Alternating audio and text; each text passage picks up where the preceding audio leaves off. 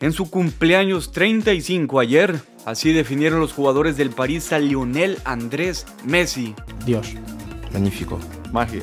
Genio. Único. Inigualable. Eh, un genio, creo que es la única la palabra que lo, que lo describe es que es, es un genio.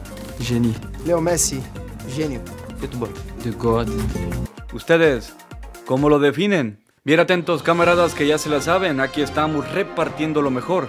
Y en cortito, gracias por elegirnos, es un placer informar que ustedes nos escuchen. Mañana se juega el campeón de campeón de campeones entre el Atlas y Cruz Azul. La máquina a una medias, el Atlas completo, con la confianza a tope. ¿Ustedes con quién están? Por cierto, el bicampeón presentó el nuevo uniforme. Ahí, un poco de patrocinio. Se fue Carlos González y no exactamente feliz. Carlos cree que podía dar más.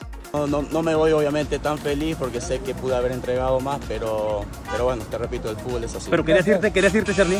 Gael Sandoval reveló pláticas con cadena, luego de no convencer para quedarse. Quedarme, no, no vengo a otra cosa, no vengo a... Eh, ahora que me da la oportunidad, ahora que, que lo hablé con cadena de que si te demuestro es para jugar.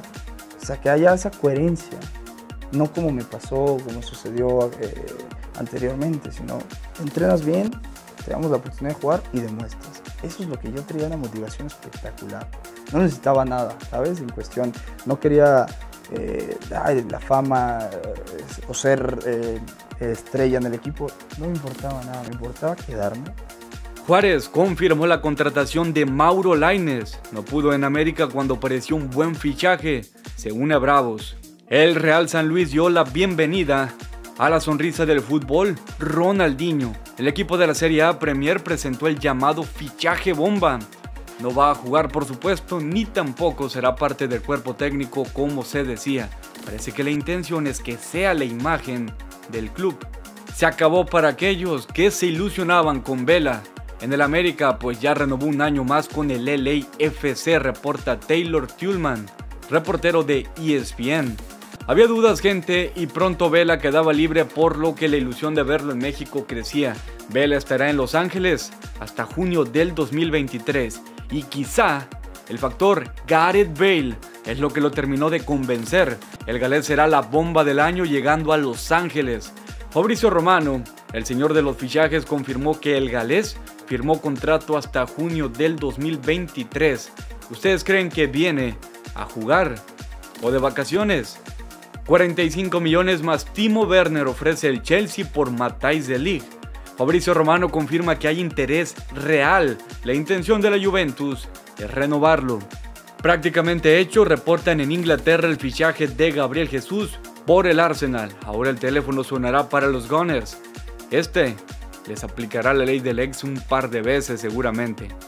La Juventus renunció al fichaje de Ángel Di María, dice la Gaceta dello Sport.